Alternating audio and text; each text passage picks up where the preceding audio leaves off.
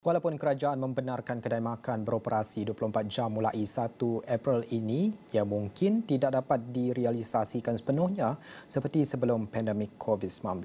Kekurangan pekerja asing dan tiada sambutan daripada pekerja tempatan adalah masalah kritikal yang dihadapi pengusaha restoran. Tinjauan Esrawani di beberapa restoran mamak di Ipoh baru-baru ini mendapati mereka menghargai diberi kelonggaran beroperasi namun meminta kerajaan membantu mengatasi masalah pekerja asing. Walaupun diberi 24 jam kami tidak dapat uh, meng- mengutilasikan akan uh, kebenaran yang telah diberi oleh kerajaan. Kerana kekurangan pekerja amat kritikal bagi kami.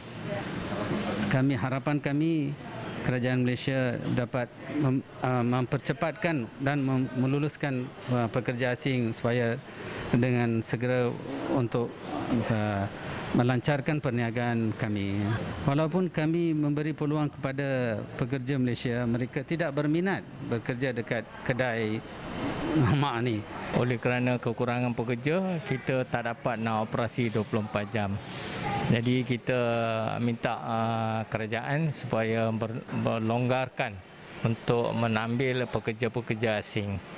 Uh, kami sudah cuba dah uh, berapa kali uh, untuk mengambilkan pekerja-pekerja tempatan dengan membayar gaji lumayan apa yang disaran oleh kerajaan iaitu bermula dengan uh, permulaan gaji ialah 1500 jadi kami pun cuba ber, uh, uh, untuk memberi pada ejen uh, tempatan supaya uh, memberikan pekerja-pekerja tempatan.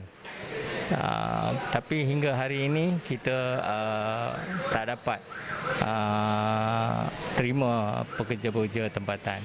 Saya harap juga pihak kerajaan memberi kelonggaran kepada pengambilan uh, pekerja asing uh, di mana restoran setiap restoran itu tidak ada had bilangan pekerja yang perlu diambil. Dan uh, uh, berkenaan dengan pengasalah pekerja tadi, bos saya pun telah tutup tiga kedai di mana kerana kami mengalami kekurangan pekerja.